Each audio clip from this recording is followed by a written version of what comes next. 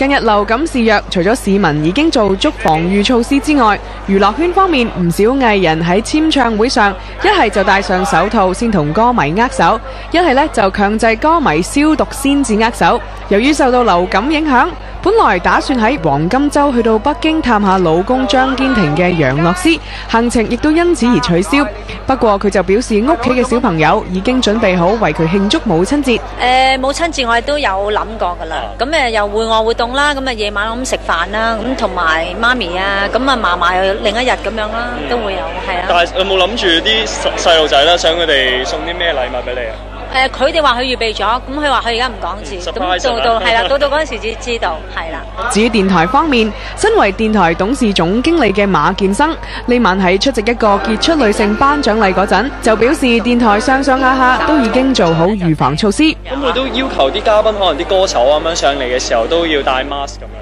誒、我哋咧就冇要求，不過如果佢唔舒服嘅話咧，第一咧，我哋就誒、會話，不如咧就個訪問遲啲做啦。咁如果佢一定要做嘅话咧，咁我哋咧都随佢最，因为佢一我哋电台嚟噶嘛，睇唔到啊嘛，所以佢戴咗 mask 都冇人知嘅。